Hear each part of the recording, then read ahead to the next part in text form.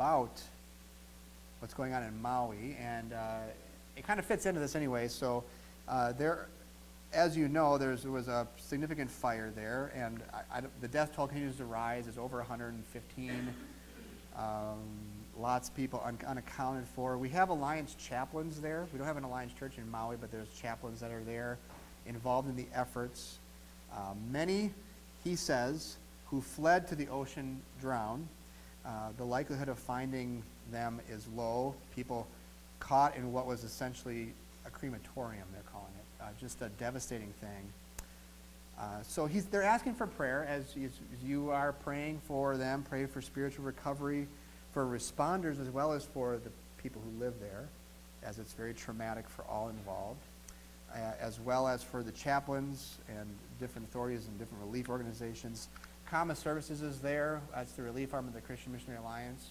And so if you, beyond praying, want to give to that, you can do that at any time. You can designate that as CAMA uh, and your check, and we send it out every month. That goes toward disaster relief, and they are there providing support as they are able to do so. So pray for that, and I just wanted to make you aware of that so you can know kind of what's going on with people that we are familiar with there. But this morning, we will be in Romans chapter 10. We've been in a summer selection series, kind of uh, whatever I've kind of felt like. but uh, how as the Lord has been leading and as I've been thinking and, and, thinking about the year and just what's coming up and all these things, these are where He has led me. And so yesterday I was at the state fair. Some of you wouldn't go there no matter what, but uh, I always I always enjoy going. It's kind of a, a fun event for us as a family, and um, boy, there's people. There are people. And what it does is it, it, it kind of reminds me of like just the diversity, but just the, the vast number of people that there are, you know, and uh, the fact that there is, there is a huge mission field. And um, as you look over this mass of people, just there's so many different people there, so many different lives and views, and just it's incredible.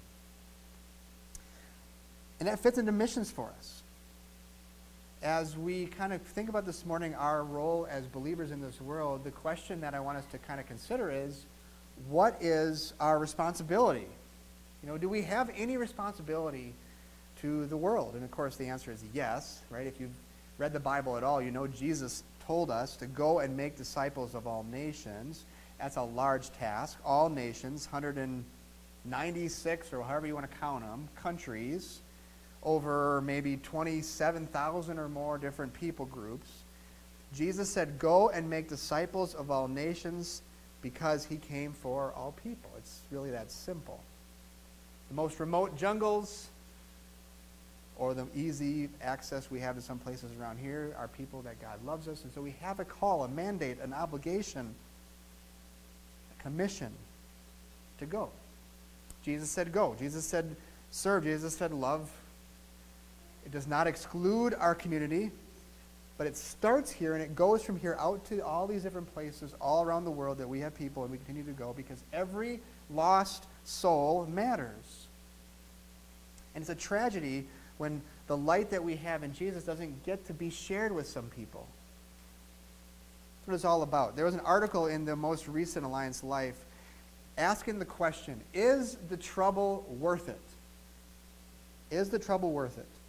Here's what he says a couple of comments from that article.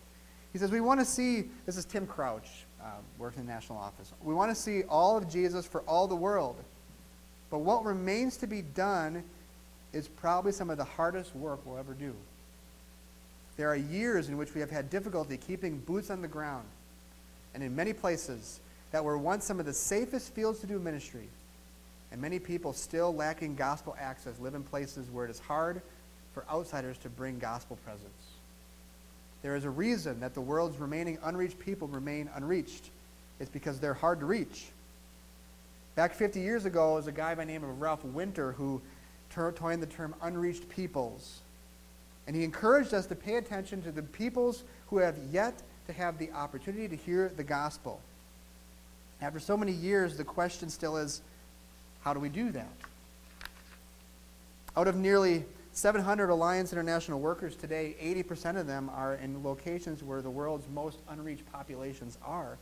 and over two thirds of them serve directly among what we call unreached peoples. It's a long term, difficult, dangerous task.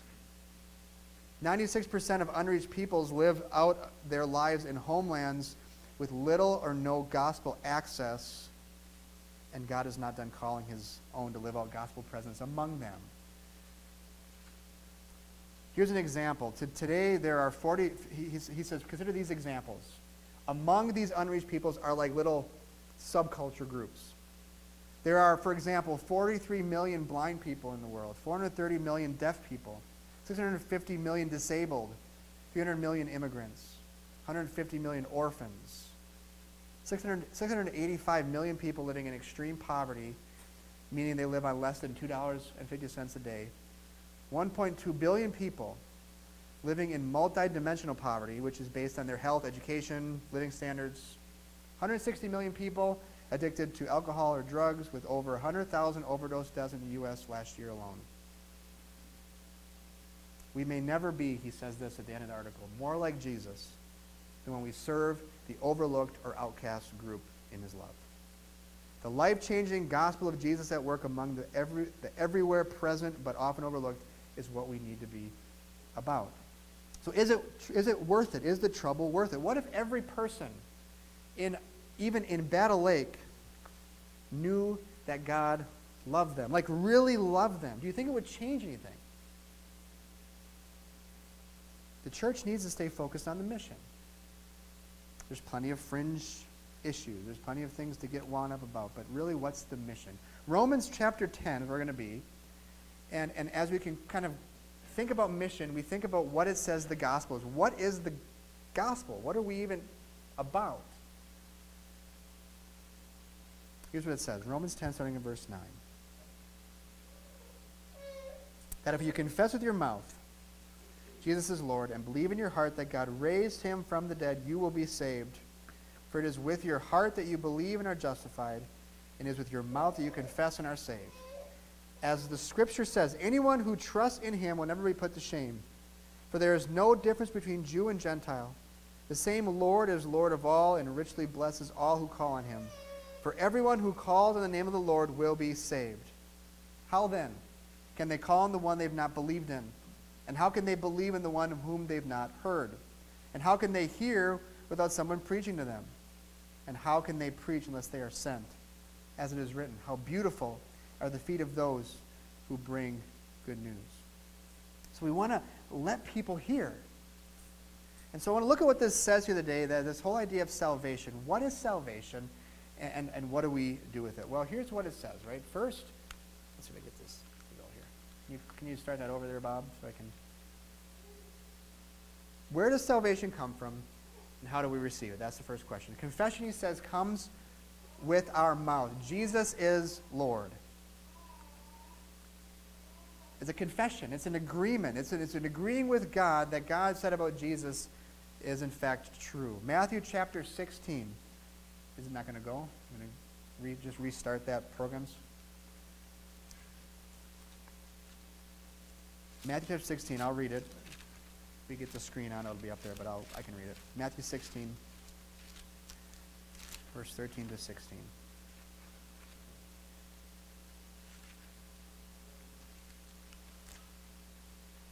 No, maybe it's this. Yeah. Um, all right, Matthew, that's okay. You know, sometimes technology just doesn't want to cooperate, and that's cool. That's cool. You know? All right. Matthew 16, verse 13. When Jesus came to the region of Caesarea Philippi, he asked the disciples, Who do people say the Son of Man is? They replied, Some say John the Baptist, others say Elijah, others Jeremiah, one of the prophets. But what about you? He asked. Who do you say I am? Simon Peter answered, You are the Christ, the Son of the living God. And so Jesus kind of comes to them and asks them this question. First, first kind of basic question Who are people saying I am? Number one. And number two, what about you? Like, there's all this stuff out there in the world, but what do you say? Who do you say that I am? What is your confession about Jesus? And he says, You are the Lord. You are the Christ. We confess things. The first part of this in Romans is confession. Confession says, I believe. And I want people to know that I believe. We make public confessions in our life, like at a, a wedding, for example.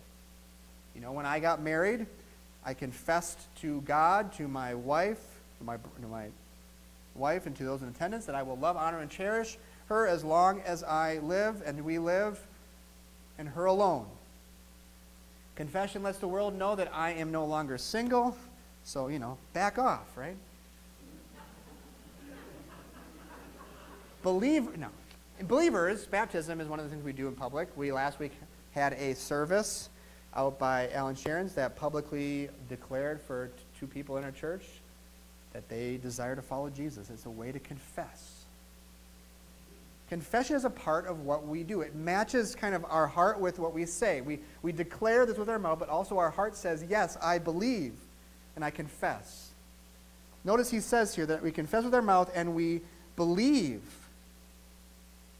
There's a difference in believing in something and believing on something. Here's what I mean the Bible tells us that the devil believes in God. The demons believe in God. They know that He exists. And it says that they tremble. So they believe He exists. We know a lot of people in the world who will say things like, I believe there's a higher power. I believe that there, maybe there's a God out there. But they're not believing on. Football season starting, so it's not too soon to talk about the Packers. Well, okay. I guess, yeah, right. I grew up in southeastern Wisconsin, those who don't know that, and I uh, am a Green Bay Packers fan because of it. It's just a part of who I am. Now, I believe, as you do if you're a Vikings fan, you believe that your team will show up to the game for 60 minutes. And sometimes they do, and sometimes they don't. But I don't believe on them for anything. Like, I don't, I don't lose my life if they don't win, thankfully. Nothing changes about my life if they lose the game. The game is a game. It does not change my life. It does not give me any, any real change at all, except for maybe a little stress if you're really into it. But if you believe on someone, you trust them completely. To believe in Jesus is to believe on Jesus, that he is the anointed one, the Son of God, the Messiah, the one in whom is found salvation. And I can rest in him. I can depend on him. I can cling to him. I can change my life based on who he is my life before Christ and after Christ looks different. Doesn't it?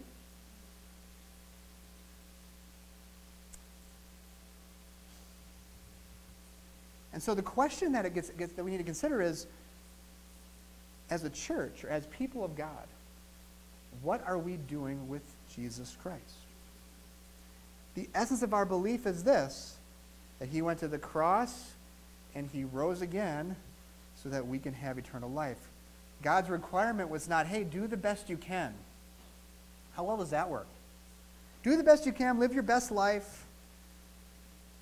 You know, it's okay. No, he says, believe on the Lord Jesus Christ because your good works don't save you. Because if you could earn your salvation by good works, then why put Jesus on the cross to begin with in anguish? The cross settles it. He rose again and we rejoice because that means we can live with him forever. Without a resurrection, there's no salvation. God takes faith and counts it as righteousness. And so we see here, everyone then is able, if they receive, to, to receive Jesus. They are able to if they desire.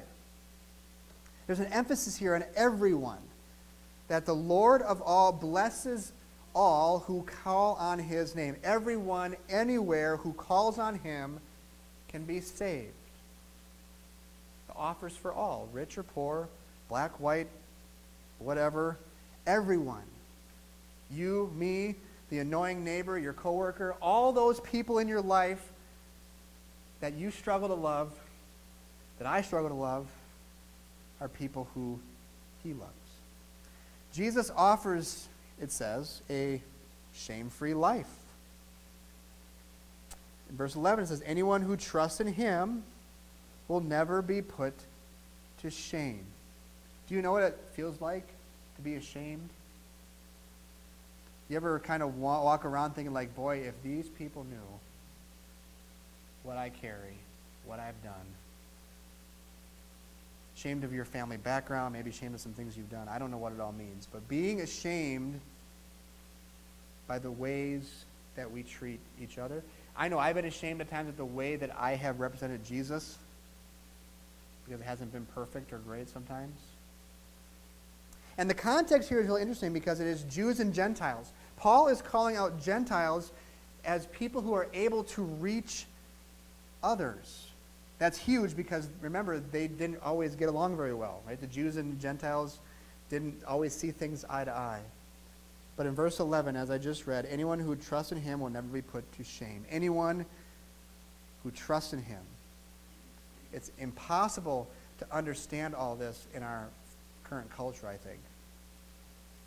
But families break down, things erode, relationships that we thought were good are no longer good. And we think, like, God, how can you possibly accept me? How can you possibly accept me in what I've done and what I've thought? Why wouldn't God be ashamed? But this says never, that He will never put you to shame. If you trust in Him, if you give your life to Jesus, He comes in and you are not put to shame. There's other places where we see this. For example, back in Romans chapter 8, in verse 1. Therefore, there is now no condemnation for those who are in Christ Jesus. That's the key. Because through Christ Jesus, the law of the Spirit of life set me free from the law of sin and death.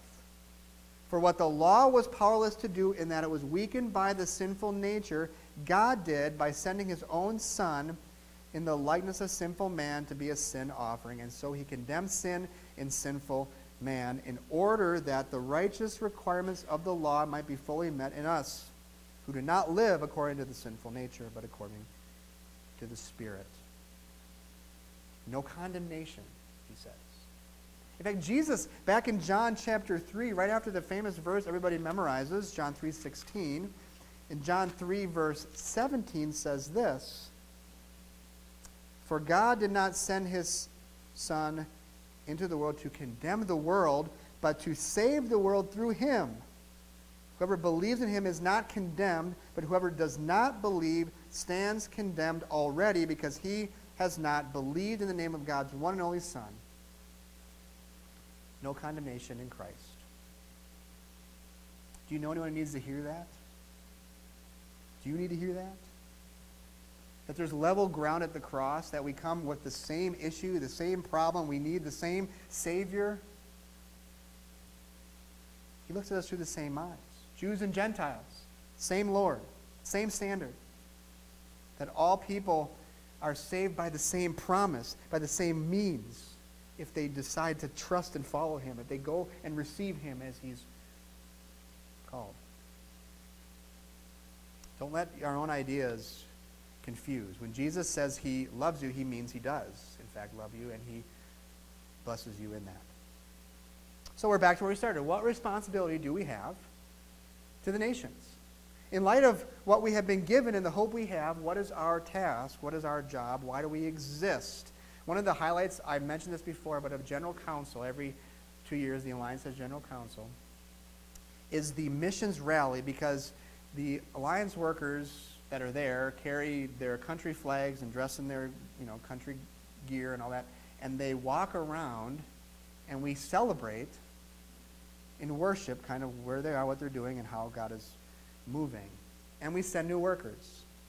And one of the things that always happens is there's like you know another 20, 30, I think it was almost 50 this year, new new workers that were commissioned to go um, to these unreached people, to these hostile places. In fact, I have a couple examples that were just sent out from uh, CAMA Services. Got a gal, for example, named Faith, who is going to Nicaragua. For the first time, CAMA and the U.S. Alliance has sent someone to Nicaragua. And the goal here is to open a church-based healthcare clinic with a multicultural team. Sully and Natalie are going to Indonesia They said that while they grew up in, in Indonesia, Sully and Natalie learned about CAMA through the parents of a friend. And as they got older, they felt God's calling on them to, again, do ministry overseas. God drew us, and He has given us a love for the people. We desire to see other unreached areas of Indonesia come to Christ. Their hope is that through holistic community development, communities will encounter and want to join Jesus in His kingdom. The Middle East a gal that's just being called Heidi is stepping forward in faith and responding to the call that God has been laying on her heart.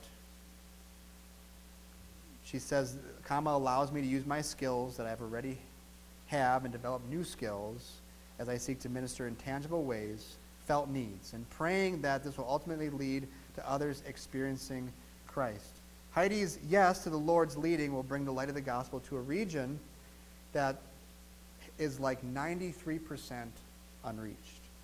She's teaching English, assisting with women's ministry, marketing, other different business things there. Finally, there's another, and there's many more, but Scott and Deanna Blackwell going to Senegal.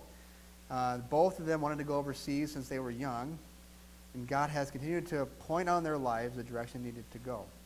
And so they're going with this business model to kind of go and to do some woodworking trade, small business, teach some skills, and provide opportunities for young men specifically to interact with them and meet Jesus. And that's just like a couple of many stories of people who are going, who are giving their lives to go and be part of that. See, the gospel is needed, it says, everywhere. In verse 12, the gospel is needed everywhere, today, right now. For there is no difference between Jew and Gentile. The same Lord is Lord of all and richly blesses all who call him. For everyone who calls in the name of the Lord will be saved. The task of sending workers to ministry must not stop because the work of preaching the gospel must not stop. In the early days of the alliance, uh, A.B. Simpson made a comment. He said, Christians, if Christians would live together and work together as God intended, the job would be done in a decade. But failure to do that causes apostasies, mistakes, and it's the reason the heathen world is still lying in darkness and crying to God against the unfaithfulness of his people. So think about that. He, he's, he's saying if we would just work together, we'd get the job done. Instead, we like to fight about different things and finer points and get all kinds of sideways. Spurge, Charles Spurgeon said, We cannot be unfaithful when there are souls on the line. There's too much at stake. We need to have pity and longing in our hearts for the souls to be saved, especially when the gospel is in our hands and our hearts, that we have it right here. Do you feel compassion for the souls of men? Our message will outlast our structures, our programs, our ministries. The message ultimately is where we will see the work completed of making disciples of all nations and the return of our King. The message does not stop when we walk out the doors or we shut things down in here and we go about our lives. No, the message must go out from us. Daily lives, everything we do, proclaiming Christ. There are plenty of people without Jesus, and so we pray for conversions. We pray that the work of the devil is defeated, that our neighbors and city and family and friends would know Jesus, would, would be able to find hope and change and life and freedom from addictions and problems and issues, whatever it might be they would find that there's life in Jesus. We all need him. We all know that we need him, and we have concern for our world. We need unity and grace because things are challenging. I, am already kind of um, uh, not looking forward to the next political season. Are you? it just creates so much chaos because there's a message that is needed, and it's not political, it's the gospel. God's word changes lives. He says the feet are beautiful of the ones who send good news because they are actively participating in seeing people receive eternal life. We can partner with God for the salvation of men. Our feet, our, our activity, our motion, what we're doing with our lives, we're doing something, we're a part of it. It's not just programs. It's not just like the church does that and I go home. It's, it's our lives that we're called to go and be everywhere. It used to be that you could put out like a, a board, you know, by the road. Hey, church Sunday, 10 a.m., people would come. And some people still do, but for the most part, it takes something else. It takes some, something inside. We're busy. We don't need another event to do. We want to use our time for valuable things. And so, what is valuable to us? All of us are active participants in this. We reach out to everyone everywhere. Matthew 28 19 literally says, As you are going, make disciples. As you are living your life, as you are going to sporting events and going to the grocery store and just being a part of the world around you, make disciples. You have opportunities every day to bridge that gap. Maybe it's just a simple, like, hey, a, a blessing on someone, a praying for someone, encouraging someone. It's not just, hey, come to church. Although it can, that can be part of it. That's not all it is. So we look for ways to engage the culture around us, meet needs, find needs, serve as we can serve, show people we love them without agenda. It's not like, here, I'm giving you this, and now you need to come do this thing. No, it's, it's we just want you to know that you are loved. And when we do that, people are attracted to Jesus. That's what he's about. The tough places we're going, we're going there for a purpose. At the end of that same article that he asked the question, he says this Now to the hard places. The world's remaining unreached peoples have disadvantaged access to the good news of Jesus Christ. Over 4,000 distinct groups still lack gospel access, remaining in locations where 90% of their population will never migrate. Like they're there, they're staying there, we need to go to them. The time is now for the gospel advance to the world's hardest places. The time is now. It's a challenge for us. How can we engage our world? How can we engage the culture? How can we bring the truth of the gospel to the world that needs to hear this? It's a question for us to consider as you go into fall ministry. Souls literally hang in the balance, and we must be engaged, have a passion and concern about the lostness of mankind. That Lord, the Lord would give us a heart that He has. And the other side of that is this if you are here and you're like, I, I don't even know Jesus, this is a call for you as well. To say, yes, I want to confess and believe. I want to trust and know Him. I want to walk with Him. I want to know who He is. And so we find ways to expand outside of the walls in the community in faithfulness, to take Jesus to the world, everywhere, for everyone, and to give us a heart for that. So I invite you to join me in a word of prayer. Lord, the call is specific but challenging because we recognize the, just the great diversity that's out there and the challenges in that. Mindsets and views and all these things that are, are, are playing into how people are living. And Lord, help us to have a heart for truth, have a heart for people, to desire to love and, and, and make sure the message is clear as we go into our world, and into our workplaces, our schools, our just our daily lives. Lord, give us the opportunity to be a presence there, to be a gospel presence there, a light that shines in the darkness. Even if we don't say much, that we can just live in that and we can give that away. And Lord, would you call people to yourself? Call people around us. Open doors for us to share the truth of the gospel because it's, so, it's, it's just so simply stated. We can confess and believe, and we can find freedom and eternal life. Do pray for people here listening, maybe here today, who are not even sure they know Jesus, not even sure they have ever found salvation. Would, would you call them today to yourself? That is simply to confess, to agree. You are, Jesus, you are my Lord, you are my Savior, and I surrender. As we do, Lord, you come in and you change us. We turn from our sins and we walk with you. We find there's wholeness and new life there. So call people to yourself. We love you and thank you that you are a trustworthy God, that you don't ever fail, you don't ever make mistakes, you're never weary or, or tired or bored with us or any of those things. You are continuing to be faithful and true and loving.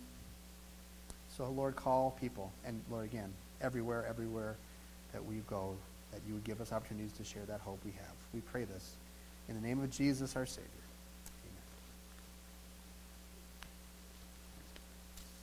Amen. Invite our music group up here as we conclude with a song, the song that celebrates the faithfulness of God. I invite you to stand and join us.